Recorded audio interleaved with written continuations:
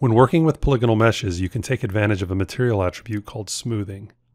Smoothing is a shading technique that makes it look like the geometry of your mesh items have more detail than they actually do. Smoothing attempts to reduce the faceting that occurs between the faces that make up the surfaces of mesh items.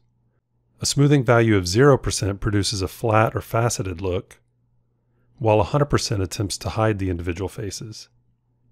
You can control which faces receive smoothing by adjusting the smoothing angle attribute.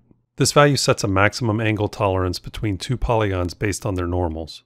If the angle between the polygons is greater than the smoothing angle, no smoothing occurs. While this can handle a lot of situations, it doesn't always offer enough control for all the different topology configurations you may encounter. Fortunately, Modo offers additional options to help control the smoothing of meshes. Let's take a brief look at what's available. Smoothing groups enable you to define smoothing between polygons based on groups. The Smoothing Group UI can be accessed from the Game toolbar and has a default array of smoothing groups that can be toggled for selecting polygons using the buttons in the UI. Selected polys can be added to a group by simply clicking on a group in the UI.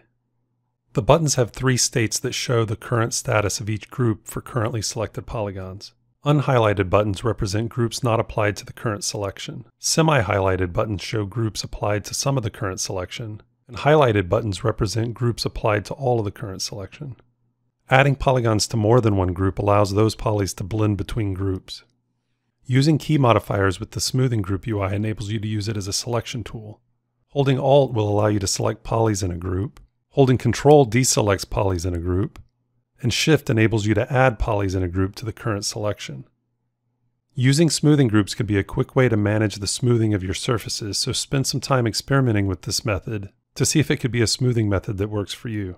Another option for controlling the smoothing of surfaces is working with hard edge smoothing. Also located in the game toolbar, this method enables you to apply softer or harder normals to edges. Let's take a look. Using the harden button on selected edges will split the smoothing of vertex normals and produce a sharp edge. When hardened edges are created, a new hard edge vertex map is created that stores this information to verts in the mesh. To soften the edges, simply use the soften button. Note that the hard edge vertex map will be removed if no hard edges exist in the mesh. There are several options available in the drop-down menu for hardening and softening edges. By default, these attributes are set to automatic, which uses vert, edge, or poly selection to define which edges are hardened.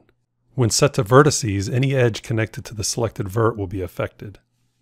Endpoints requires both verts that make up an edge to be selected in order for the edge to be affected.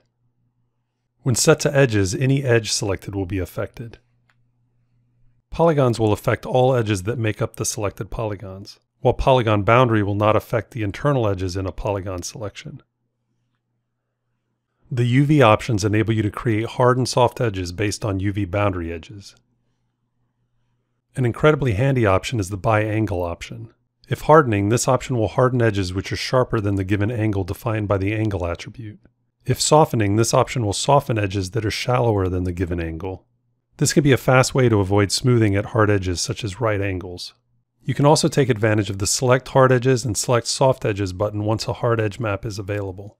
As you can see, Modo offers a variety of ways to manage the smoothing of surfaces. As always, you'll want to spend some time experimenting with all of these options so you can choose what works best for your future assets.